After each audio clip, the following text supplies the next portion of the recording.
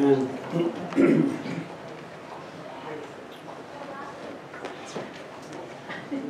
you know, um, we hear a lot in our world today about about freedom, don't we?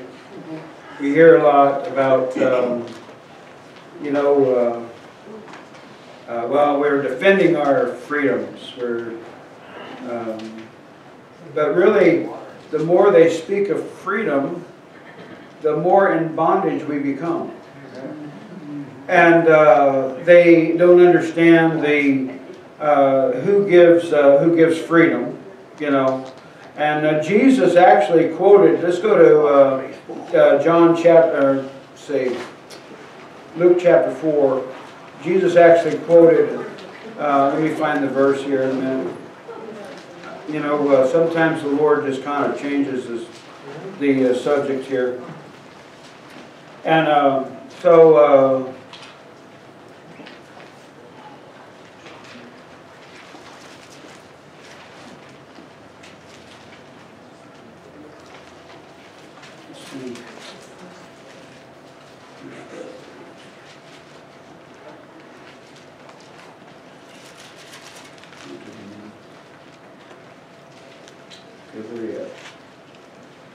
All right, and um,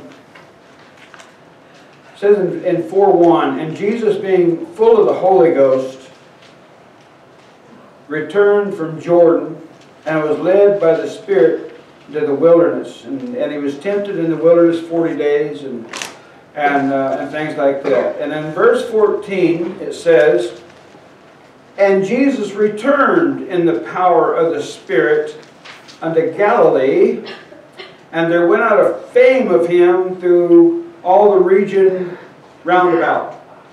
So he went into the wilderness to be tempted under the power of the Spirit, and he came out of the wilderness, and he was uh, filled with the same Spirit, right?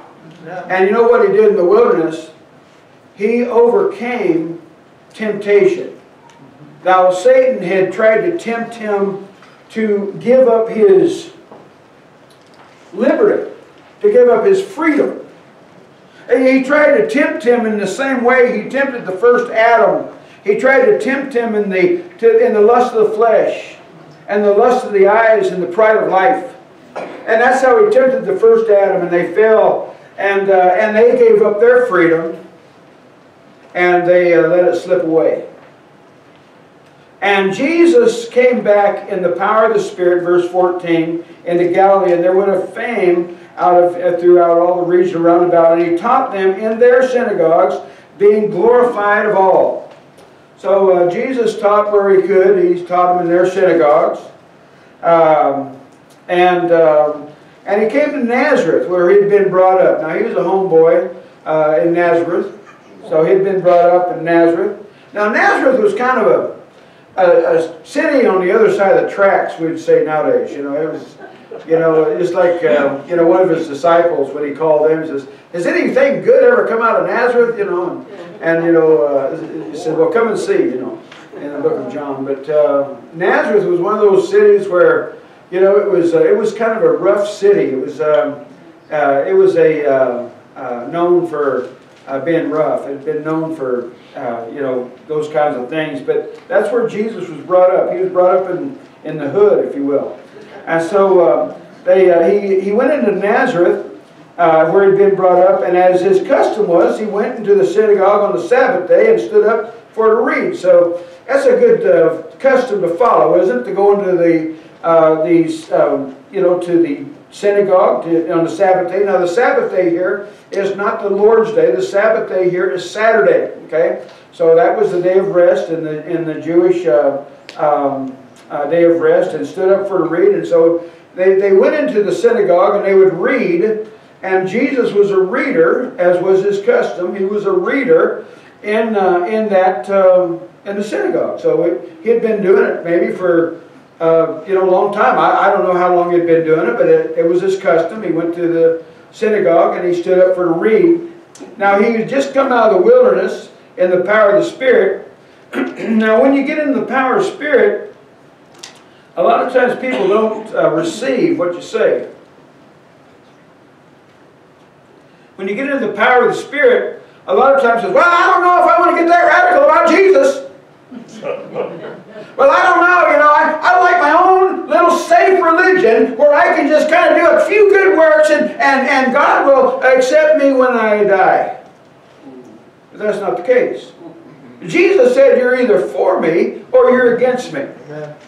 You see, it's not, uh, well, you know, I have a little bit of, uh, you know, righteousness of the law over here, and a little bit of Jesus over here, a little bit of Baptist over here. It's not like that. It's either you, you get full of the Spirit, you either get full of God, you either get full of Christ, or you're none of His.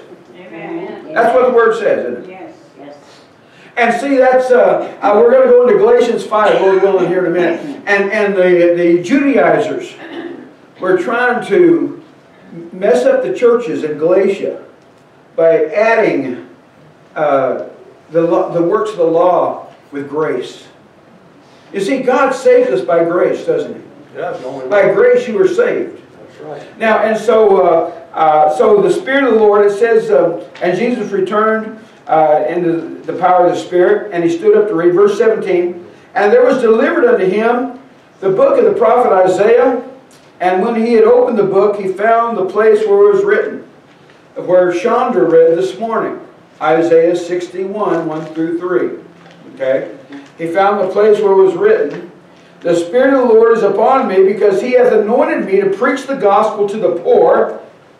He has sent me to heal the brokenhearted, uh, to preach deliverance to the captives, and recovering of the sight to the blind, to set at liberty men that are bruised. You see, it, our liberty doesn't come from the United States. Our liberty comes from Jesus Christ. Amen. Our liberty, we need to understand that He was the one that was anointed to come and to heal the broken heart and to set the captives free. It's not the, the drug companies. It's not any of this other stuff. It's Jesus Christ. He has come to set at to, uh, preach deliverance to the captives, recover the sight of the blind, to set at liberty them that are bruised, to preach the acceptable year of the Lord. And he closed the book, and he gave it again to the minister and sat down. And the eyes of all them that were in the synagogue were fastened on him. Now, in the synagogue, there was a special seat in the synagogue. It was, you know, not, not this chair, but I mean a special seat in the synagogue. That when the Messiah came, he was to sit in that seat. And when the Word of God says that after he read, he sat down and every eye was fixed on him, he sat in the Messiah's seat. And boy, did that torque them off. now look at this. And it says, uh, uh, it says, and all the uh, eyes of the synagogue were fast on verse 20, and he began to say to them, this day is this scripture fulfilled in your ears. I am the anointed one. I have come to heal the broken in heart. I have come. And you know, uh, you know a lot of times you know, we, we want to uh, you know, rely on other things besides God. And verse 22, and all bear him witness and wondered at the gracious words which proceeded out of his mouth. And they said, Is not this Joseph's son? And, uh, and he said to them, You will surely say unto me this proverb, Physician, heal thyself. Whatsoever we have heard done in Capernaum, do also here in thy country. And he said, Verily, verily, I say unto you, no prophet is accepted in his own country. Mm-hmm. Oh, wow. See, Jesus knew that they weren't going to accept him. But you know, he had to start in his own hometown. And he had to start by saying this today, this scripture is fulfilled in your ears. Verse 25, and so Jesus, you know, he, he don't ever preach a, a, a real popular sermon. You know, you ever notice that about Jesus? That's the truth. But I tell you the truth, many widows were in the Israel in the days of Elijah, when uh, the heaven was shut up three years and six months with great famine was throughout the land. But to none of them was Elijah sent save unto Sarepta, uh, a city of Sidon, unto a woman that was a widow. So what he was saying here is uh, a lot, there was a lot of widows in the land of uh, you know Judea, but uh, Elijah was sent to a Gentile. Ooh. And many lepers were in Israel in the time of uh, uh, Elias the prophet, and none of them was cleansed, saving Naaman the Syrian. Oh, oh, there was a lot of lepers, but none of them was cleansed except a Syrian. Boy, we don't even like Syria today, do we? No. Excuse me. And all they in the synagogue, when they heard these things, were filled with wrath. Boy, Jesus, you're not preaching the right things with my ear like my ears like to hear. You're preaching Gentiles, you're preaching I'm the anointed one, you're preaching all this stuff, and my ears just don't like to hear, and I'm mad. How mad were they? And rose up and thrust him out of the city and led him to the brow of the hill whereon the city was built, that they might cast him down headlong. They were that mad at him. Now, when we were in Israel and we were in Nazareth, we went to the brow of this hill that they were going to cast him down. I mean, it's a sheer cliff with rocks on, you know, down there. They, they believe that this is the cliff that they were going to cast Jesus off of. And I couldn't figure out, by the time they got up there, they'd be too tired to cast him out. But I mean, but anyway, they were in good shape back then. But anyway, uh, he, uh, they were going to cast him out, and they were going to cast him headlong uh, uh, down this cliff. But he, passing through the midst of them, went his way, and came down to Capernaum, the city of Galilee, and taught them on the Sabbath days. And they were astonished at his doctrine, for his word was with power. You see, he didn't just uh, preach a, you know, out of the word. He was the word, amen? Amen. And so when he preached, and he preached under the anointing of the Holy Spirit, what didn't he? and that's how we have to preach today, under the anointing of the Holy Spirit. Now let's go to Galatians chapter 1. Galatians chapter 1. I had this other sermon all done, but anyway. It was hell and evangelism, but anyway. Get that get to that later, again. Now, the the Galatian churches, that's why um, the Galatia was a region, and there was several churches in that region. So it was the churches of Galatia. Um, and it says, um, and so anyway, the Apostle Paul went up there because what they were trying to do, the Judaizers, who they were called, would come in, these Jews, and it says, now, uh, the grace of God is fine, but to be a truly, uh, uh, you know, saved, you have to add the law with grace. You have to be circumcised. You have to follow the law, okay, in order to be saved. And so the Apostle Paul was um, uh, going up there and he was preaching the cross of Jesus Christ. He was preaching the grace of God. Uh, and um, and the Judaizers, they, they opposed him on this message because it was grace alone. Because a lot of times, you know, we think, and, and, and we have churches today, we think that, uh, oh, okay, well, you know, I'm saved by grace, but man, I've got to help God out a little bit here. I, have got to help God out by, by doing good works. Now, I'm not saying you shouldn't do good works because we were ordained to do good works that were before created in Him, right? And so uh, I'm not saying, but if we work for a part of our salvation, we have fallen from grace. All right? Now let's see what it says. It says, Stand fast, therefore, in the liberty wherewith Christ hath made us free, and be not entangled again with the yoke of bondage. Now, this yoke of bondage was the Old Testament law. This, uh, this, uh, this um, a yoke of bondage was the Old Testament way of doing things of, uh, uh and uh, of keeping the law. It says in verse 2, Behold, I, Paul, say to you that if ye be circumcised, Christ shall profit you nothing. And so you can go ahead and be circumcised, but it's not, Christ isn't going to profit you in that. because uh, you were saved by grace, right? And so uh, it says in verse 3, For I test, testify again to every man that is circumcised that he is a, a debtor to do the whole law. so if you were circumcised in the law, you were, a, you were a debtor to keep the whole law and never break it. Now let me ask you this. Is there anyone here today that has never broken any of the law? You've kept the Ten Commandments perfect there all your life. Go ahead and raise your hand if you have. Woody? Okay, no, I'm just kidding.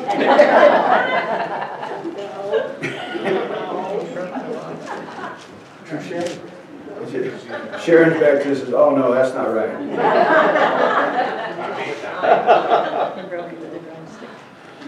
So, uh, you see, uh, he says, hey, if, if you're gonna if you're gonna follow the law, and, and, how many people are messed up in their heads in the churches of, of, of uh, doubt, I, I think it's doubting the salvation of God through grace. And I think it's doubting that, well, you know, I got to keep this part of the law in order to help God out in His grace. You see, and um, it's not uh, it's not that. Now, uh,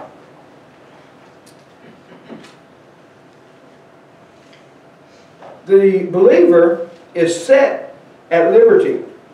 The believer is delivered by the deliverer, Jesus, right? The Lord Jesus Christ, who conquered the world, the flesh, and the devil. He conquered hell and the grave. Salvation is by the marvelous grace of God, means deliverance and freedom. And get this, there is no bondage in grace. There's no bondage in grace. Because why? Because God has set you free. Set you free to do what you want and sin all you want? No. To set you free into worshiping God.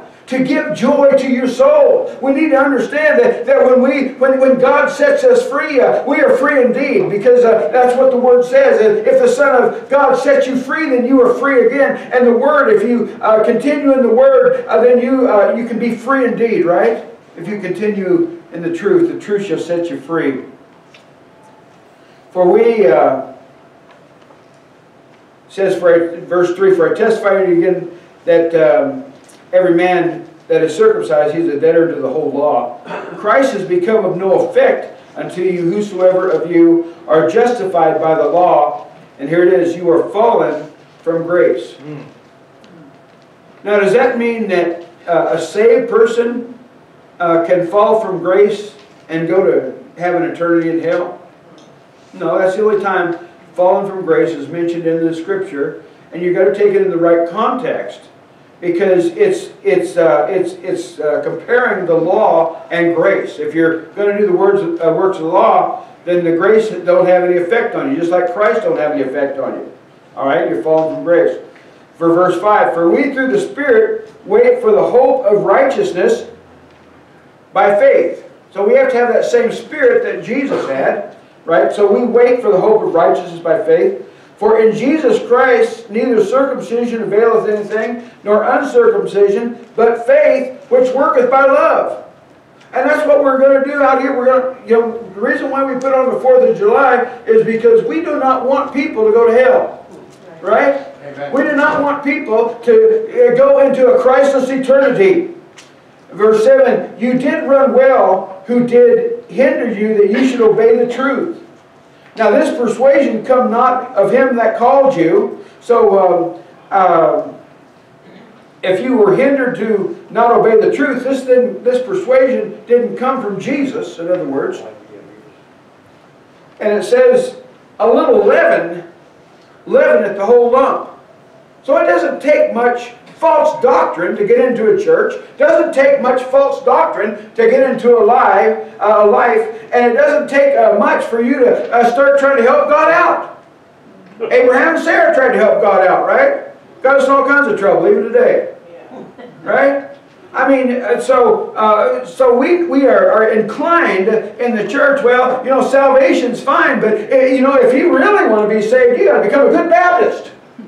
Oh. Or if you really want to be saved, you got to, you know, become a good Pentecost and jump a pew or two. I don't know what you think. But you know, we need to understand that uh, God saves us by grace alone. By grace you are saved through faith. And the faith in God is what we, uh, what we need. Because that, uh, because a little leaven leaveneth the whole lump. That's, a, you know, like a leaven. You know what leaven is? It's like yeast. And I don't know how it works. But uh, my grandmother used to come over to the house and she would make homemade bread. And man, she'd have this, uh, she'd make, a, she'd roll out this dough and, and, and all this stuff, and and um, and and you know it would be like that far down below the pan rim, you know, and she'd throw in that yeast, and uh, by the time that yeast took effect, that bread would be out, and it would be flowing over the the rim of that pan, you know. And man, she'd make homemade bread and and you know, of course, we had uh, uh, fresh butter from the cow and oh. everything. And oh, yeah. But those were the days, man. I'll tell you. And um, but uh, but anyway, that that leaven, that yeast, it would leaven that whole loaf. You know that that's what happens in churches too. A little bit of leaven leavens the whole lump. Verse 10, I have confidence in you uh, through the Lord that ye that ye will be none otherwise minded, but that, that but he that troubleth you shall bear uh, his judgment, whosoever he be. Now he's talking about people that come into the church and trouble the church. Well, you know, you really uh, uh you you really got to do something besides the grace of God. You say, so they trouble you says, um, verse 12, or verse 11, and I, brethren, yet if, if I yet preach circumcision, so if I preach circumcision, if I preach the law, it says, why do I yet suffer persecution? Then is the offense of the cross ceased. You see, um, when I preach the cross of Jesus and your identification with it, that means you are to humble yourself before God and die to yourself and receive the Lord Jesus Christ.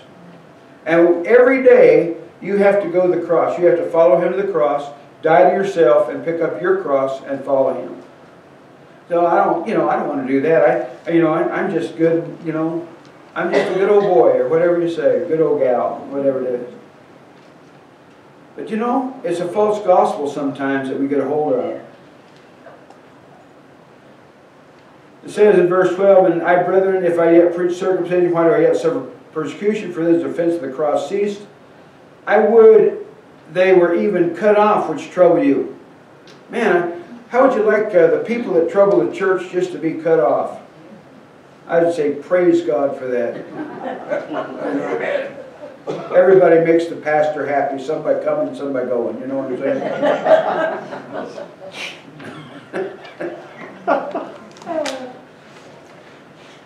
Now, for brethren, you have been called into liberty. Here's your calling. You've been called unto liberty. Only use not liberty for an occasion to the flesh, but by love serve one another. So this is what he's saying is, is don't use this liberty to sin. Don't use this liberty to uh, sin all you want and come back to God and say, oh, you know, God, you know. Uh, so don't use that liberty for the flesh.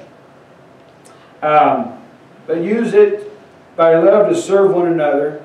For all the law is fulfilled in one word, even this, Thou shalt love thy neighbor as thyself. And that's what we're doing here the fourth, isn't it? We're going to love our neighbors. We're going to give them a piece of chicken. Now, we couldn't find chicken with skin on it, I apologize for that. But, you know, it's skinless chicken, so Scott, you're going to have to do some magic on that. But, um, yeah, you know, chicken, that's good stuff, isn't it? Chicken skin, it's good stuff. Oh, yeah. we couldn't find it with skin on it.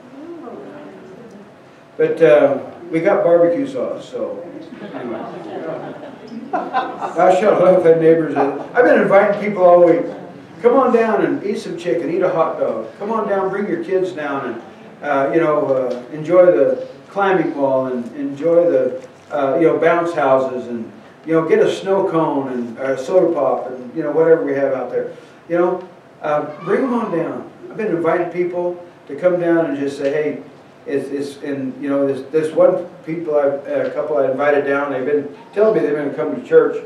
I'm going to tell them God's going to send you to hell for lying, but anyway. Have a piece of. They said, no, we're gonna, so they texted me yesterday, what can we bring? Can we bring some water? Go, no, we bought a whole pallet of water, don't bring any water. Bring ice, bring ice, so, anyway, they, they have to bring something, so, I told them bring ice. But anyway, uh, love your neighbors yourself. Verse fifteen, but if you bite and devour one another, take heed that you be not consumed one of another. Now, we don't ever have people that bite and devour us, right? No, Well, most. This I say then, walk in the Spirit, capital S, walk in the Spirit, and you shall not fulfill the lust of the flesh. amen. Now, Jesus walked in the power of the Spirit, didn't he? He walked in the power of the Spirit through temptation, and he walked in the power of the Spirit as he ministered in Nazareth.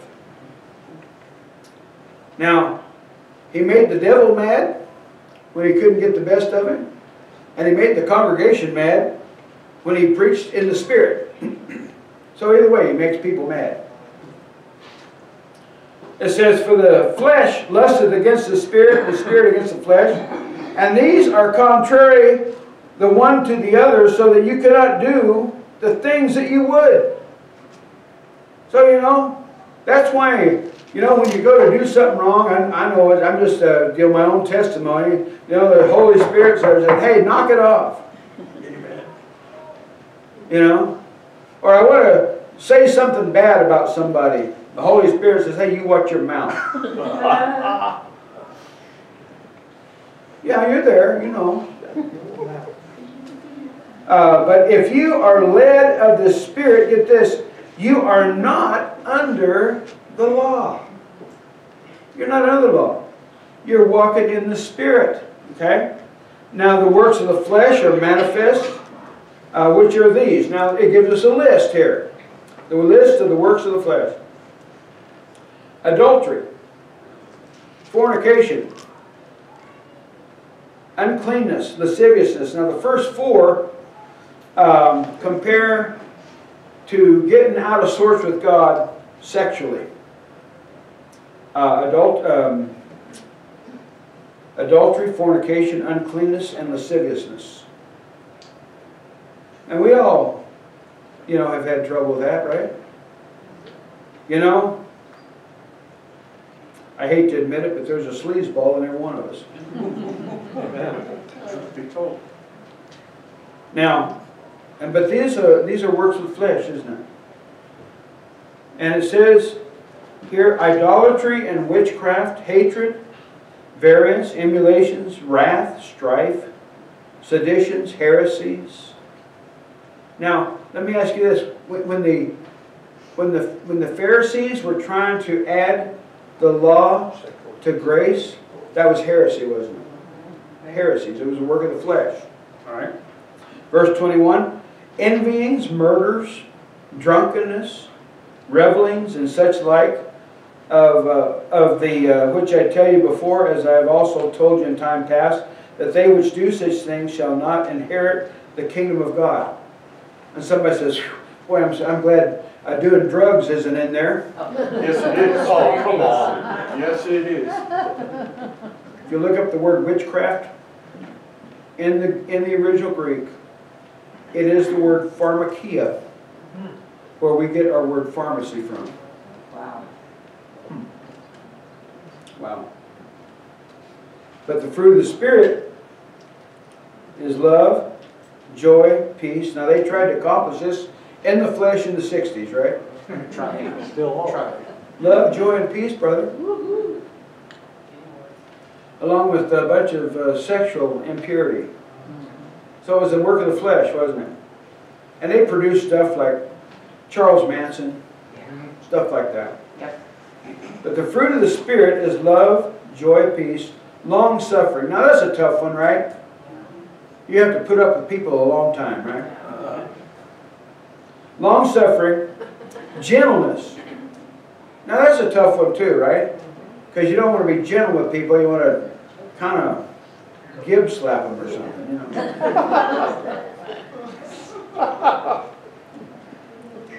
How about uh, goodness and faith? And some of your translations there is going to read faithfulness. Okay? Uh, meekness. Now, meekness is the opposite of pride. Meekness is being teachable. Okay? Temperance. Now, temperance means having self control. Okay? You're just not uh, doing as you please, you have self control.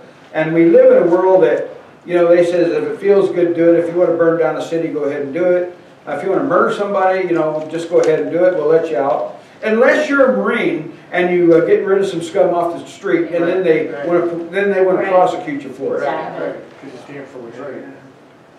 But if it was the opposite, Oh, yes. Mm. no problem. That's right. Exactly.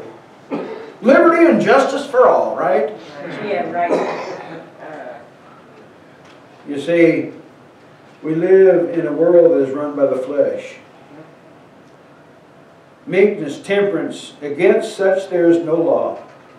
What are you going to make a law against being too peaceful? You're going to make a law because you love too much? Probably. You're going to make a law because you're too joyful? I'm sure the Democrats will come up with something, but I mean, you know. Give them time. But they that are Christ have crucified the flesh with the affections and lusts. Now, sometimes the flesh comes back and torments us, doesn't it? Okay, well, we'll on. But if we live in the Spirit, let us also walk in the Spirit. Let us not be desirous of vainglory, provoking one another, envying one another. It's interesting, it says, don't envy one another. Envy and division go together. If you envy something, then uh, you're going to uh, want something that somebody else has or whatever. And it causes division. Stand fast, therefore, the liberty wherewith Christ hath made us free, and be not entangled again with the yoke of bondage. And I want to read uh,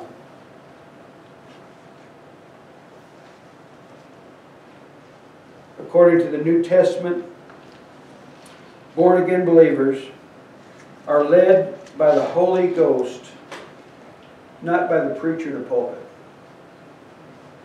I'm to be your example. Sometimes I'm not too sure if I'm a good one. But uh, you're to be led by the Spirit. Say, well, Pastor Curtis, how, how can I be led by the Spirit? Well, we have to read the Word of God. And I, this, this, this author here says, truly born again children of God do not crave the hog pens of the world, the cesspools of iniquity, and the ungodly lust of the damned. You see? And a lot of times, you know, that stuff creeps in, doesn't it? No, it does in my life. Hmm. And I, when, when that stuff comes in my life, I said, man, I got to figure out how to deal with it. You ever had the sin of doubt come in? Man, I got to figure out how to deal with this. I'm just letting you know, deal with it in the Spirit by the grace of God. You see, we are, are called to, to deal with it. What does the Word say? Greater is He that is in me than he that is in the world. And if we are kept by the grace and the power of God, it doesn't say we're going to be sinless. It says, matter of fact, uh, 1 John says, if we say that we have no sin, we deceive ourselves, and the truth isn't in us. But on the other hand, it says we're not to sin. We're not to follow the lust of the flesh. We're not to follow that. So let's keep on encouraging one another. Let's keep on in the Word of God. let's keep on praying. Say, God, I mean, uh, you know, hey, I'm in this together with you guys. You know, these things come in. Sometimes uh, these evil spirits are there, they just kind of attach themselves to you. You know, I mean, it- there you can, uh, you know, uh, advertisement on TV or something. Uh, you know, and you know they have all these uh, sexual images and, and, and all this stuff. Sometimes it just kind of attaches itself to you. Say, man, what's up with that? Pretty soon you're thinking impure thoughts or whatever. And you have to come back to God and say, God, you know, I'm going to walk in the Spirit. And because I know if I don't walk in your Spirit, I'm going to fulfill the lust of the flesh. And so um, we're, we've, we're all in this together. We're all going to have doubts from time to time. But here's one thing we don't doubt. We don't doubt the grace and the mercy of God. We don't doubt the love of God. He is the one that saves us. He's the one that shed his blood uh, for our redemption. He's the one that has delivered us. He is anointed to set the captives free and to heal the broken in heart, to set at liberty those captives. And there's a, you know, we've all been captive to something, haven't we? But God is anointed to set the captives free. And the Messiah has come. He has sat down. Made the synagogue mad, but that's all right. You know? Jesus still saves. You know, sin is still sin. Hell is still hot. Lost is still lost. But Jesus still saves, right? Amen. Praise the Lord. Amen. I want to ask if there's, uh, this morning, if there's any decisions that need to be made. I I know God is dealing with the insides of some people this morning. Dealing with your spirit. Dealing, dealing with your heart. And, and I just want you, I, I want to let you know that I love you. I want to let you know that, um, uh, you know, that it's okay, uh, you know, to uh, go through emotions and, and things like that. But uh, we don't put our faith in our emotions. We put our faith in the facts of the Word of God. You see, we put our faith in the facts of Jesus. And He's the one that keeps us, He's the one that guides us, He's the one that has delivered us. And no man is able to snatch you out of the Father's hand, right? So I just want to encourage you to uh, keep on uh, keeping on today. Amen. Pastor Curtis, I want to be a member of the congregation. I was gone for a while, so I don't know if I'm still a member. But if not, I'd like to be rededicated or accepted or whatever. Okay. Um, is she still a member? Or? I don't know. I don't know, I'd have to look, You have to look. look and see, but she. Okay, that's okay. Come on up. Yeah, so she wants to become a member uh, again.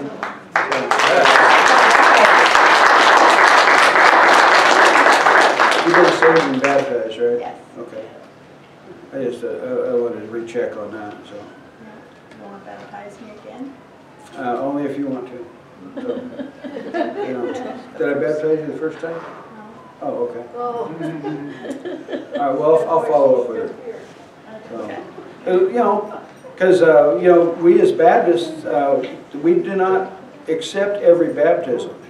You know, for instance, if somebody comes in, say that uh, has a, it- they've been, say they, they were bad, uh, sprinkled as a baby, that's not tr- re- real baptism because they don't remember it. and It says repent and be baptized, every one of you. Now, know, baby, they're too young to repent. They don't even remember their baptism or sprinkling. Um, So, um, uh, you know, we uh, repent and then we are baptized, okay? So that's the true baptism. Baptizo means to immerse in the Greek. You know, you don't, um, and then, you know, the person being immersed is a, a dead person being buried, and then the person being raised up is the person being raised to walk in newness of God, newness of Christ, okay? So baptism. So keep in mind what the symbolism of that is, what the testimony of that is, what the obedience of that is. and the identification with that is uh, the testimony of God. And so uh, we are uh, saved, we are baptized, uh, all by faith, right? And um, because uh, it's not it's not a ritual or a rite that we go through. It's like it's not a law that we fulfill. Okay, now I'm baptized and I can go to heaven now. Uh, you know, it's called believer's baptism. If you believe, then you may be baptized. Okay, so you got to believe first before you're baptized. So, a little bit of baptism this morning. All right, everybody in agreement with this, just say uh, amen. Amen. All right. And um, anybody that disagrees, come see me and I'll, I'll say, uh, hey, you know, so-and-so don't want you in the church, so. All right, well, welcome in the name of the Lord.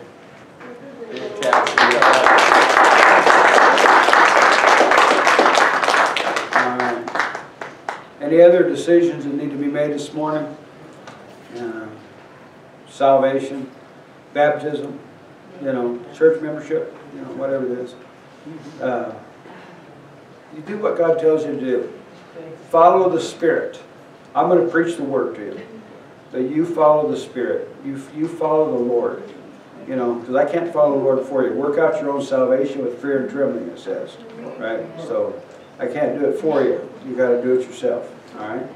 And then uh, Tuesday, uh, 8 o'clock, uh, 4th of July, come tell somebody else about Jesus and uh, you'll be blessed. Uh, God will bless your life. Amen. Or if you can't tell somebody about Jesus, if you're too old, come down and eat. We don't care. Amen. Any other, uh, uh, does anybody else have a word to say before we dismiss this morning? All right. Maybe we'll get to Hell and Evangelism next week. I was, I was going to go to Hell and Evangelism this week because, you know, the evangelistic event, but uh, we'll see what God has next week. But he, he couldn't get me out of uh, Galatians chapter 5, you know. I've been, Galatians chapter, he kept pounding on me, Galatians chapter 5. You know, so, okay, Lord. All right. All right, well, let's go, Lord, in uh, prayer. Father, thank you, Lord God, for this day that you have made. We will rejoice and be glad in it, Lord God. And Lord, I just uh, thank you, Father, for uh, uh, Bertha May that made a decision to uh, be part of us. Lord, again, Father, Lord, we just pray, Father God, that, Lord, um, you'd uh, guide us and keep us. I pray, Father, uh, that you'd keep everybody safe on the 4th and, and give us uh, give travel mercies to the ones that are away. And Lord, we'll be careful to give you praise, honor, and glory in the church. And we just pray in Jesus' name. Amen. Amen. God bless you until we meet again. Bless you too, Pastor.